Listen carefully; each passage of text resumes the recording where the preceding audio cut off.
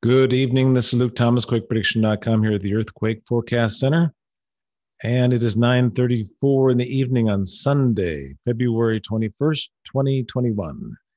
Let's go over to the uh, current map of uh, earthquakes during the last 24 hours. And the largest quake so far today just happened a few minutes ago down near the Loyalty Islands. It's a 5.4 earthquake. And in California, we had a couple uh, significant quakes. We had a 3.3 down here uh, near Big Bear Lake and a 3.8 here southeast of San Francisco and northwest of Coalinga. And uh, let's just check uh, how we did here during the last 24 hours we had a 3.5 and a 3.4 off uh, the coast of Oregon, off northwest of uh, Eureka, California, and southwest of Portland, Oregon. Portland was at 90 and Eureka is at 100, so that worked out okay. Big Bear City or Big Bear Lake was at 75% risk, and there's a 3.3 near there. And San Francisco, the uh, 3.8 that occurred there was in 35% risk. So that wasn't all that great of a, forecast on that one. Uh, but the other three were, were pretty much right on. All right, we're going to go over to the forecast map for uh, California. Eureka remains very high risk, uh, even after those quakes off offshore there. The risk remains at 100%. And I, I think we're going to get uh, between a 5 and a 6.0 earthquake in Eureka during the next 24 hours. Also, Mammoth Lakes is very high at 100%. So something should happen in either, maybe both, Eureka in Northwest California or in Mammoth Lakes, which is in East Central California. And again, Portland, Oregon is uh, uh, the 95% risk there as well, and Ridgecrest at 90%. The world forecast uh, very high risk in uh, northern Italy still, Bologna to Milano over to uh, Zagreb, Croatia. Very high risk in that area. And uh, also in Mexico City and Cyprus. Well, Mexico City down to Guatemala. So it looks like uh, a 6.0 is possible in southern Mexico and or and or western Guatemala during the next 24 hours. And Cyprus, which is south of Turkey, is also very high, high risk at 95%.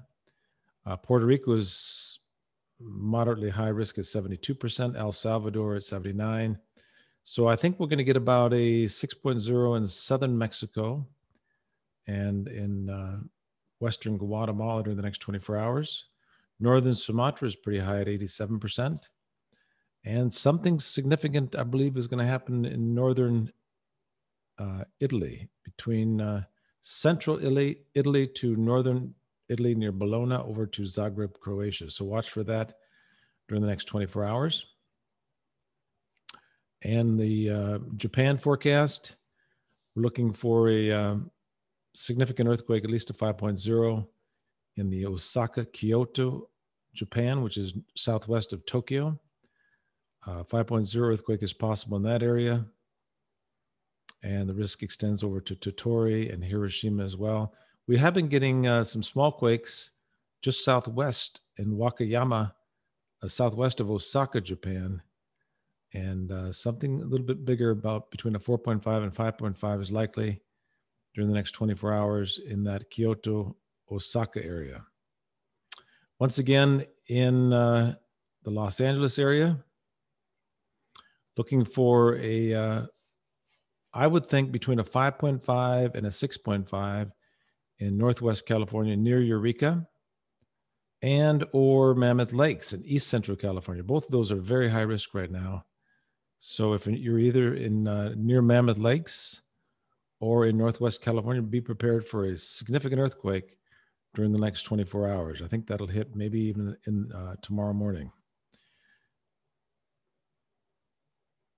All right. Thank you so much again for stopping by here at uh, the Earthquake Forecast Center and QuakePrediction.com.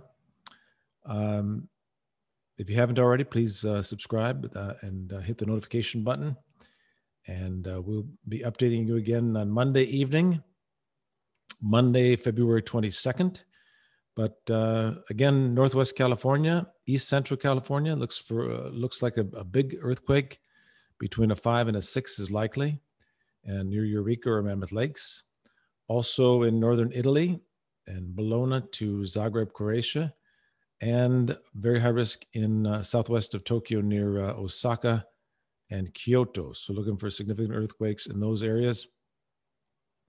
And we'll give you another update tomorrow night and uh, Monday night, and uh, we'll, we'll keep you updated and we'll inform you if anything happens during that time. Thank you so much, and we'll talk to you tomorrow. Luke Holmquist here at quakeprediction.com and enjoying our new uh, office here. Thank you so much for uh, following us, and we will talk to you tomorrow.